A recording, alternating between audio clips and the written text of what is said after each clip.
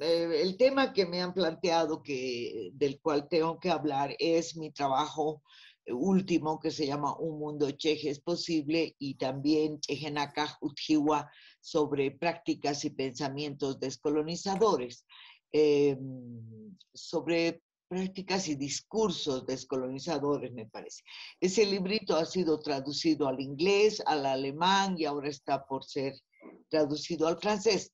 De todas maneras, yo quiero contarles que mis primeras preocupaciones en torno a este tema provienen de mi insatisfacción con el discurso del mestizaje.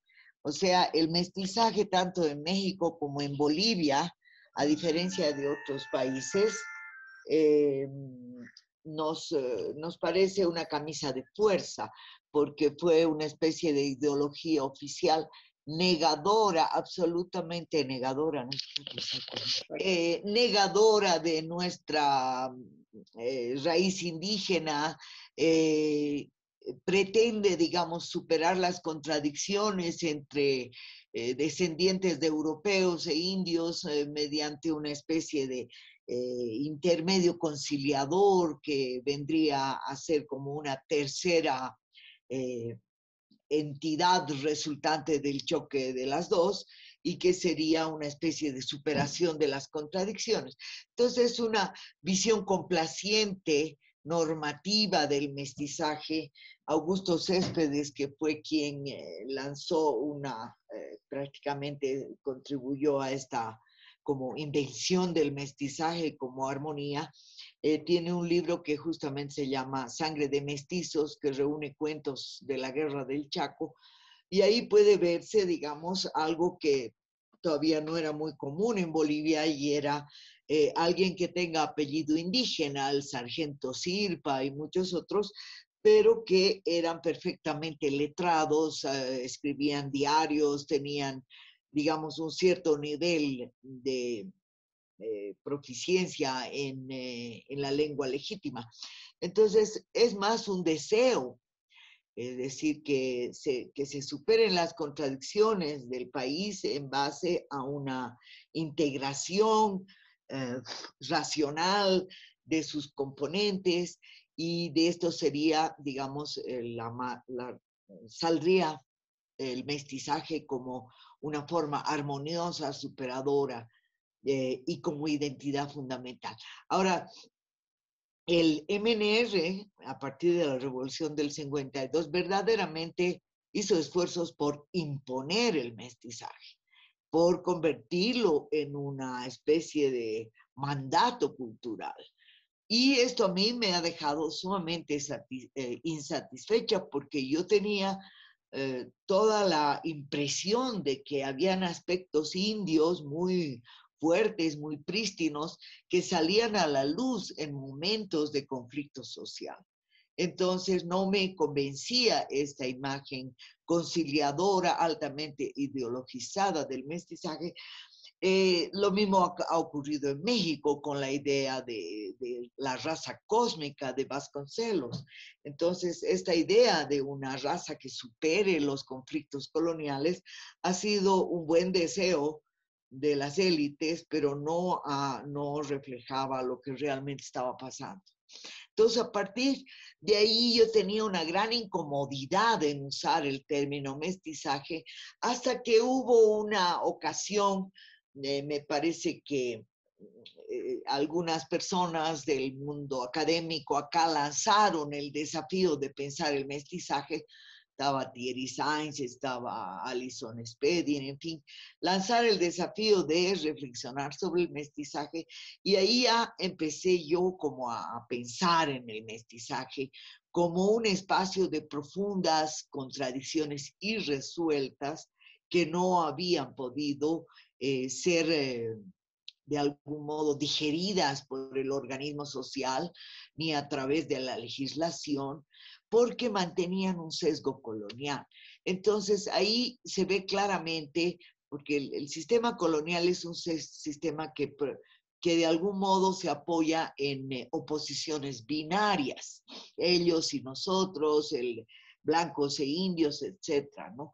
Entonces, el intento de formar una tercera entidad armoniosa fue pues eh, un fracaso, ¿no? Para mí.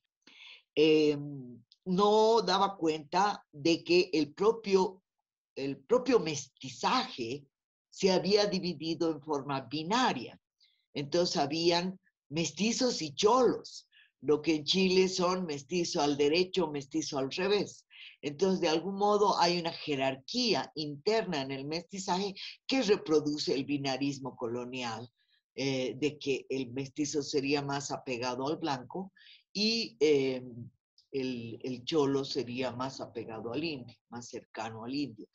Seguía siendo para mí insuficiente esto, porque yo veía que la vivencia del mestizaje es, es una vivencia llena de contradicciones, donde se viven tiempos y espacios muy indios, como ser, por ejemplo, las fiestas patronales o los rituales que son extraordinarios, porque los rituales en Bolivia eh, involucran prácticamente a toda la gente, ¿ya? Entonces, esta dinámica del ritual, esta pervivencia de elementos fuertemente indígenas contrastaba incluso en las formas dialectales que uno, que uno escoge, ¿no? Porque los bolivianos hablamos como tres o cuatro dialectos para el mercado, para la cátedra, para eh, el mundo oficial y para el mundo coloquial, ¿no? Entonces, eh, esta clara eh, irrupción de lo indio en, el, en la superficie plana y aparentemente tranquila de la modernidad mestiza, eh, provocó pues una serie de conflictos. Y además era una presencia india masiva y beligerante. Desde 1979 empiezan los cercos a la ciudad de La Paz y a las principales ciudades del altiplano. Y bueno, es un cerco que alude a una memoria histórica de 1781. Entonces, ahí se reproducía esa confrontación binaria entre eh, colonizadores y colonizados. Entonces, en todo eso, eh, me tocó hacer un video, hice un video sobre la masacre de Todos Santos, para lo cual entrevisté a un, a un escultor aymara, Víctor Zapana, quien eh, fue el primero que me mencionó esa frase Chejenakajutjiwa, es decir, existimos las personas chejes, o sea, manchadas, contaminadas, impuras, em, y lo hacemos de un de modo enfático, es el, el sufijo wa, que es enfático, ¿no? Entonces, enfáticamente existimos los chejes, ¿ya? Eh, y eso me, dio una pauta muy enriquecedora para pensar el mestizaje, porque claramente había una forma eh, que se expresa en los animales chejes, los animales que son a la vez de arriba y de abajo, a la vez eh, malignos y beneficiosos, a la vez hembra y macho, que son la serpiente, la araña, las hormigas, las lagartos, los sapos, todos estos seres liminales son considerados chejes porque físicamente son manchados y, eh, digamos, esencialmente no pertenecen al mundo de arriba ni al mundo de abajo, sino a los dos. Entonces son entidades que cruzan fronteras. Para mí eso era muy atractivo. Y por otro lado, son entidades que dan fuerza para resistir. Entonces, y por eso la coragua, que es el arma de guerra indígena, que es la onda, eh, es trinzada a la izquierda con hilos negro y blanco que eh, se yuxtaponen y no se disuelven. Entonces, para mí esa fue la metáfora clave porque yo encuentro que hay un lado indio y un lado europeo que no se funden, no se mezclan, no son como agua y aceite, se jerarquizan, se destruyen mutuamente, pero no se juntan. Entonces, para mí esa era una gran metáfora que ayudaba a expresar mi vivencia del mestizaje. Yo tengo una raíz indígena antigua he podido reconstruir la genealogía de mis ancestros hasta el primero que vio llegar a los españoles en 1532, que se llamaba Ticacala, y es toda una historia que he podido reconstruir para afianzar mi lado indio. Eh, y por otro lado, es, tengo clara conciencia de mi formación europea y de que mi primera lengua es el castellano. Eh, en cambio, el aymara lo he aprendido y lo sigo aprendiendo de, de adulta, ¿no? Entonces, eh, de todas maneras, combinando mis lecturas y mis vivencias, también daba cuenta yo de que no es cualquier contradicción lo cheje. Es decir, si hemos sido complacientes con la idea de fusión, tampoco podemos ser complacientes con la idea de, mm, de, contradicción y de oposición. Había que, de algún modo, eh,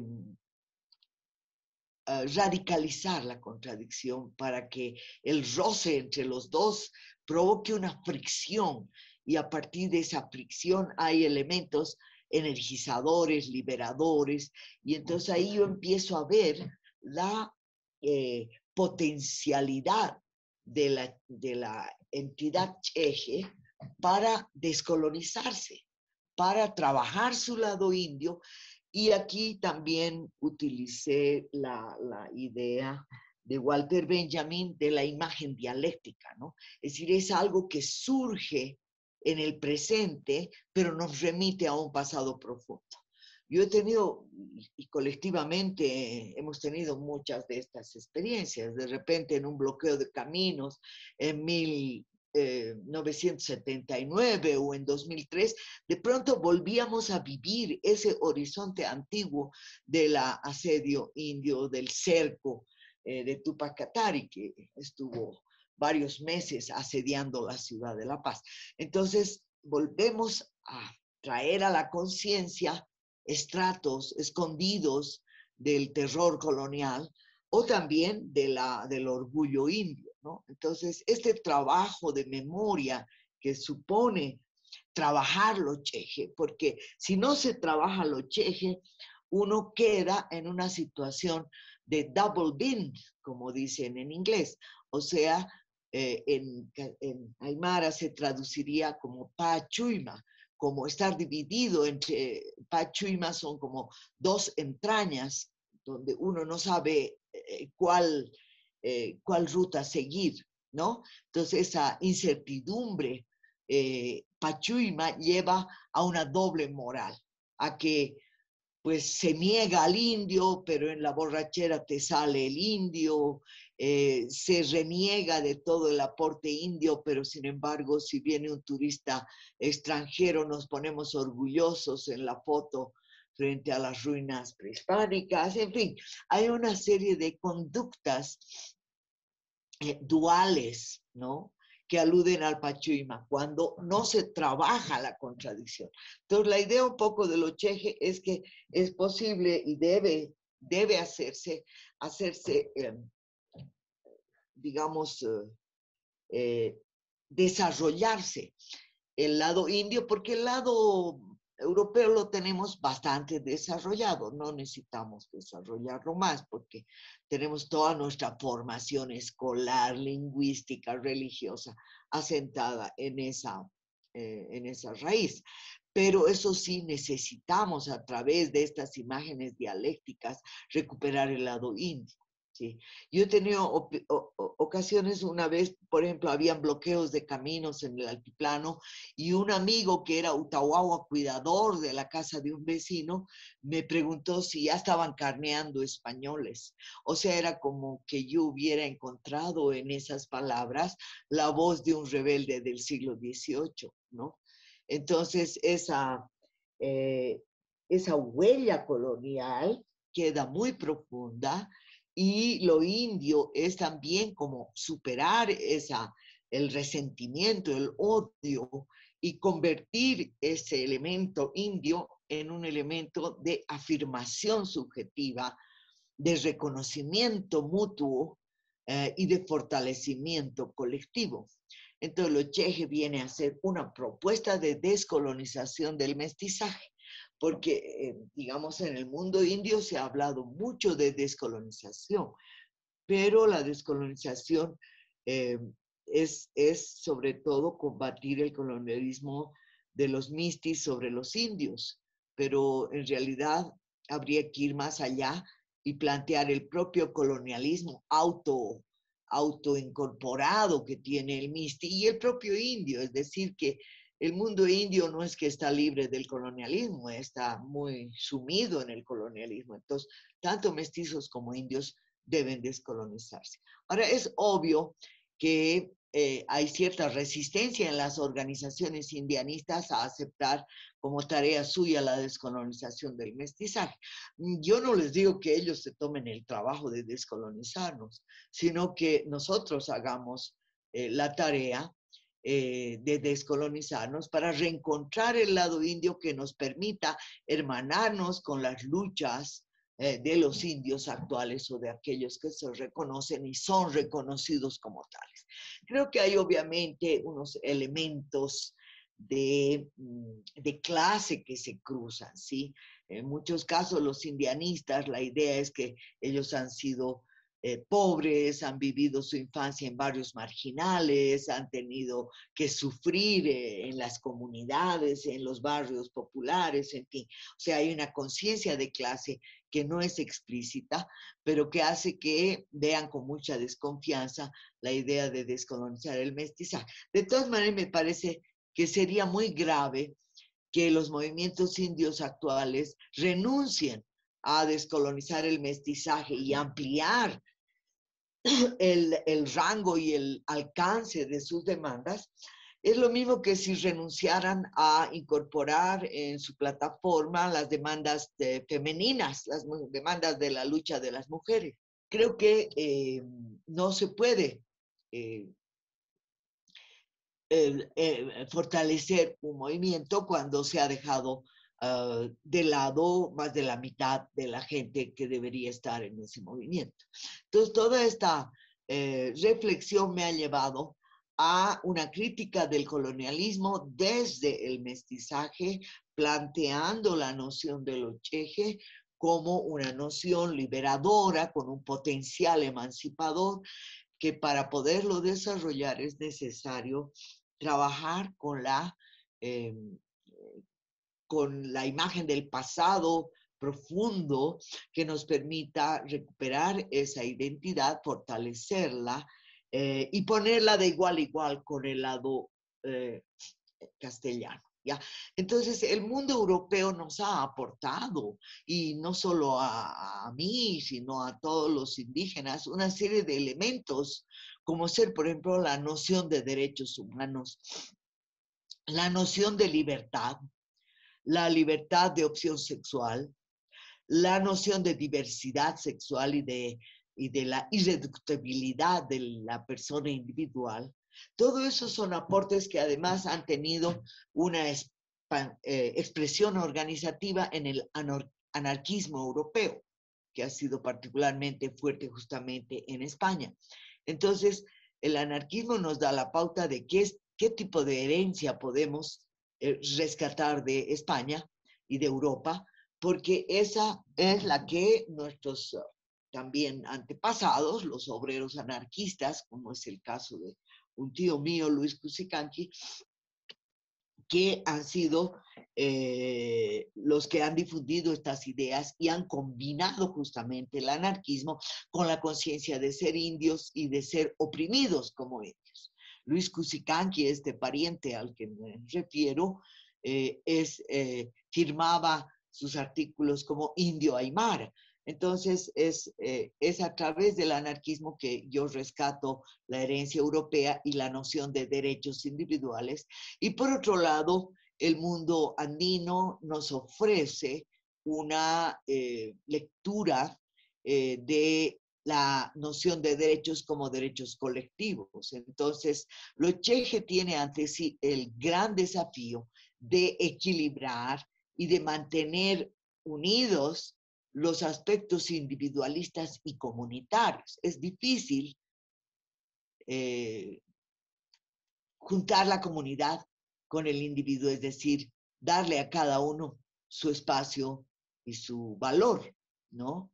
Eh, por lo general se piensa que la comunidad ahoga al individuo y que el individuo desconoce o eh, al perseguir sus intereses destruye los intereses colectivos.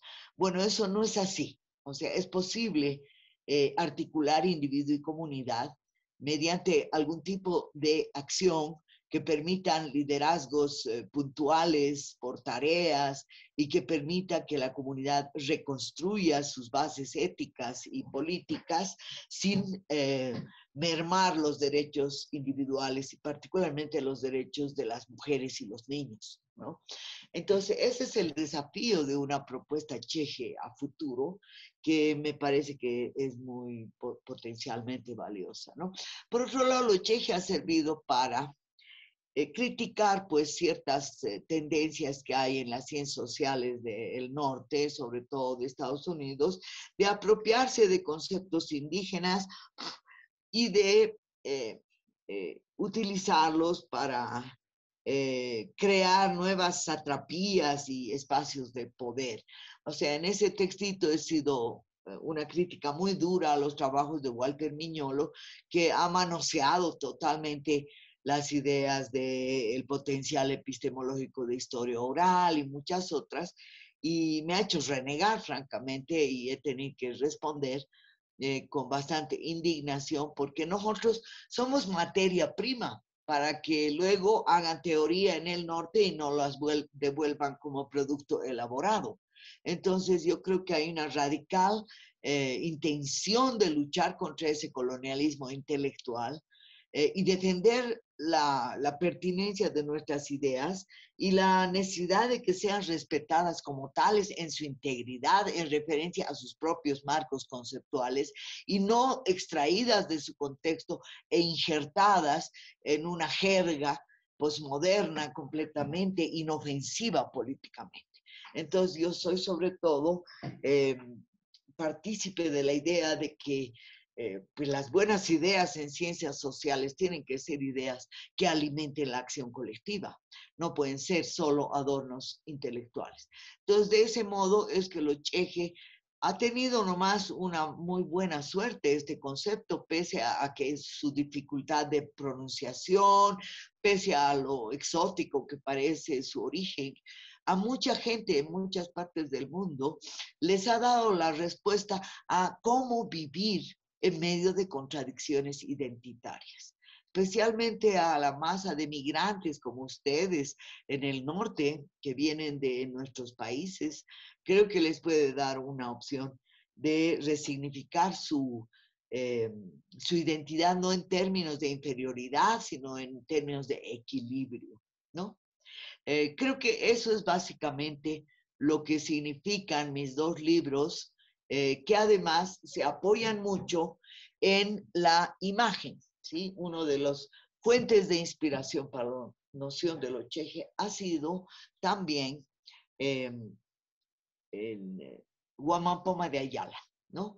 Y sus, su trabajo con imágenes, ¿no? Que me mostraba, digamos, ahí eh, un, un, ser humano eh, de algún modo torturado y castigado por la eh, contradicción en su propio eh, interior del mundo cristiano en el cual él creía fervientemente y el mundo pagano eh, de su propia cultura. Entonces, él también es una persona cheje que ha luchado por emancipar, por emanciparse de los aspectos negativos de esa contradicción. Entonces, por eso creo que está muy bien que por fin se se pueda hablar pues con términos nuestros, porque eh, para la gente que estudia filosofía o ciencias sociales es muy fácil hablar de Weltanschauung, de Aufhebung, eh, ¿no? De muchos conceptos que se han vuelto eh, moneda corriente, pero les cuesta hablar con conceptos propios. Hay conceptos propios, tanto Mesoamérica como en el área mapuche, de los cuales se podría nutrir la ciencia social. Eso yo creo que es todo lo que puedo decirles. Espero que con las preguntas podamos completar esta conversación.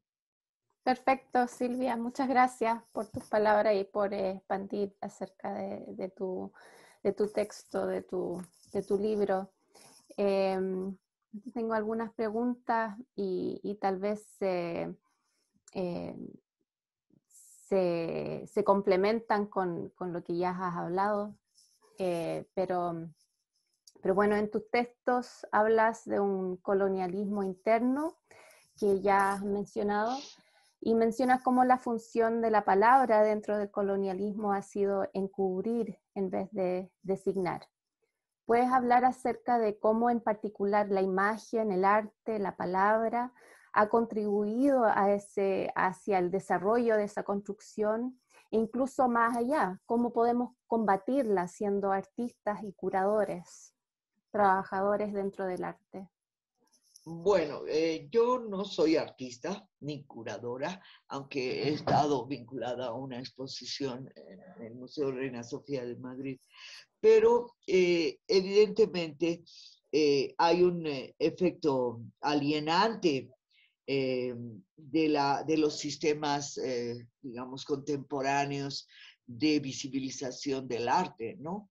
y creo yo que esta eh, esta concepción de lo cheje tiene mucho que ver con el aporte eh, estético de personas como Waman Poma o Walter Benjamin, ¿no? Mm. Entonces, eh, la, la, palabra tiene una función encubridora, eso lo manifestó Octavio Paz en El laberinto de la soledad y en otros textos que muestran cómo digamos que en lugar de nombrar las palabras encubren el significado y sirven como eufemismos, ¿no? Entonces hay toda una especie de lenguaje ficcional, que es el lenguaje de la política, de la sociedad, eh, eh, digamos, dominante, eh, y que va a marear la perdiz, va, va a prácticamente dejar sin palabra a otros sectores eh, iba a imponerse de un modo demótico eh, como palabra dominante, ¿no? Entonces, frente a eso, eh, la, descolonización también consiste en liberar las palabras de esa trampa y la imagen ayuda a hacerlo. ¿sí? Y también el trabajo etimológico, ¿no? Muchas palabras no las reconocemos en su etimología y la etimología podría ser muy útil en hacernos mirar de dónde vienen estas palabras que muchas veces son metáforas, ¿no?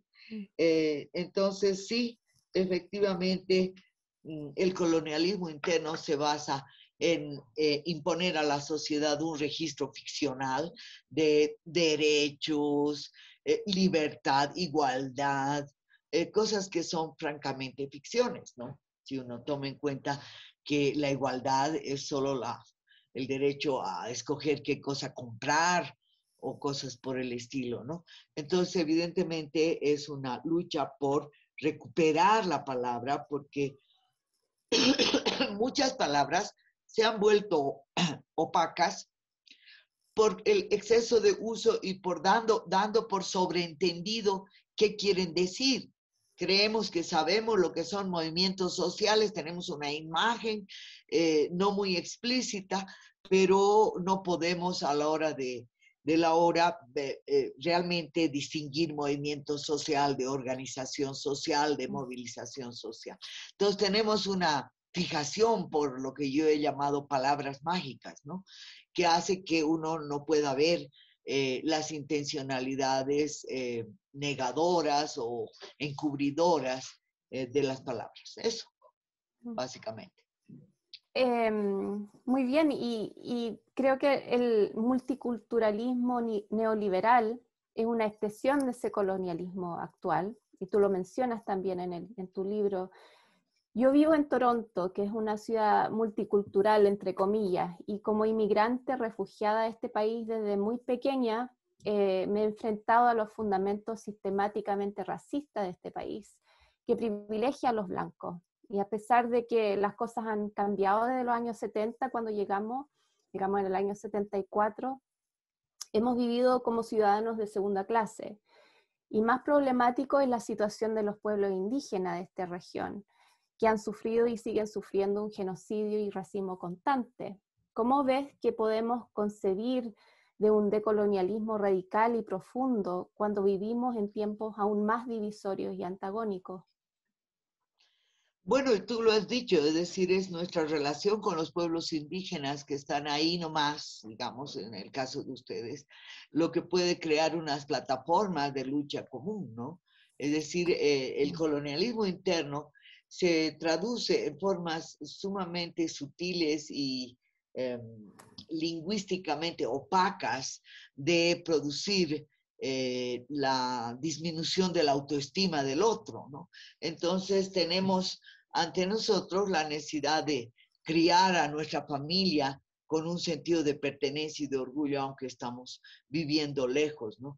Pero ese racismo también hay aquí, es decir, es la, es la necesidad de usar al, al indio como ornamento culturalista, es decir, ponerlo como en la foto. Es muy notable que en Perú hay mucha propaganda sobre rutas indias del turismo, pero uno llega a Lima y está en una sociedad totalmente eurocéntrica, ¿no? Eh, y acá también, por supuesto, se hace uso del indio, pero no se le reconoce, ¿no? Entonces, hay todavía, incluso en el gobierno actual, un uso ornamental del indio. ¿No? Mm. Eh, y eso no va a superarse eh, hasta que haya un proceso de descolonización, porque hay que reconocer una cosa, el rato que nos descolonicemos vamos a dejar de ser indios para comenzar a ser personas, gente, gente que puede ser muy diferente en su cultura y en todo, pero básicamente es... Eh, es persona, pues, igual que los demás. Entonces, descolonización es quitarnos de encima esa carga de desprecio que significa lo indio y recuperar sin duda nuestras diferencias culturales. Mm. Bueno, tú eres un ejemplo perfecto que no solo generas conocimiento, sino que también practicas la teoría. Tienes un pasado político, de activismo y sigues la lucha actual. Tú mencionas que existe una neutralidad dentro de las, de las epistemologías occidentales y una depolitización del colonialismo. En un momento de crisis mundial, el cual enfrentamos hoy en día, vemos cómo se genera radicalismo de los lados opuestos y la neutralidad se ve cada vez menos, a pesar de que los intentos, a pesar de los intentos neoliberales. ¿Para dónde crees que va la humanidad? ¿Existe esperanza para para todos nosotros ahora que estamos en esta crisis mundial? Bueno, yo soy pesimista. Yo pienso que nos hemos creado nuestra propia tumba, que hemos destruido tanto la naturaleza que ésta tiene nomás que reaccionar, ¿no? Y que un bicho tan chiquito, invisible, sea capaz de poner en jaque a la humanidad es muy significativo para mí. Yo pienso que hay poca esperanza de poder salir de esta crisis Pienso que hemos hecho demasiado daño, que el cambio climático ya tiene caracteres irreversibles, pero claro, ese no es motivo para dejar de luchar, ¿no? Entonces yo creo que sí es posible afirmar eh, la necesidad de cambiar una, eh, la epistemología, la forma de conocer, eh, para recuperar todo el caudal de conocimientos que los pueblos indígenas tienen sobre el manejo con la naturaleza. O sea, hay que pedirle perdón a la Pacha y la Pacha está ahí sufriendo cada vez más eh, atrocidades. Entonces, creo que el, mundo indio tiene una reserva de conocimiento sumamente importante que sí, o sea, no se ha cerrado por completo la esperanza. Mm. Con eso podemos, podemos cerrar. Yo creo que eh, a pesar de que dices de que eres pesimista, eh, no, no dejamos de luchar y eso siempre da un poco más de esperanza, ¿no? Ya, muchas gracias.